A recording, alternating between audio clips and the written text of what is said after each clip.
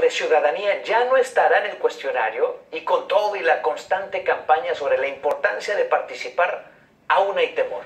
Según un estudio, un 75% de los hispanos teme responder el censo porque, porque piensa que el gobierno podría utilizar la información en su contra.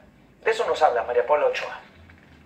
Participar en el censo. Las campañas del censo son constantes en los medios de comunicación. Aún así, muchos latinos temen exponer su información en el cuestionario. Lo que pasa es que Trump este es un muy racista y están anda intimidando a las personas con eso de llenar el formulario. Ese temor lo ha notado Enrique, quien todo el tiempo recibe llamadas con preguntas sobre el proceso. Las personas siguen nerviosas sobre la pregunta, nos, nos llaman, nos preguntan si la pregunta de la ciudadanía es, va a ser incluida en el cuestionario de este año. en general. De hecho, según una encuesta de Naleo, aunque 8 de cada 10 hispanos entienden la importancia del censo, tres cuartos de la población temen que el gobierno del presidente Trump usaría la información en su contra. ¿Creen que, por ejemplo, se pueden utilizar información individual para ver dónde están personas que son indocumentadas y hacer redadas?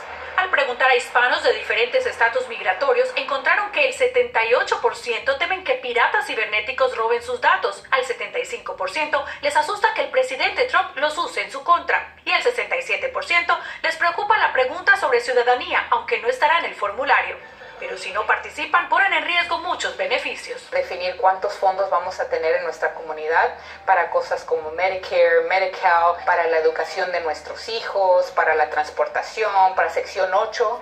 Cabe aclarar que según el título 13 de la Constitución es contra la ley que cualquier funcionario del censo comparta la información en los formularios. Hacerlo puede llevar un castigo de 250 mil dólares o hasta cinco años en prisión. En Los Ángeles, María Paula Ochoa.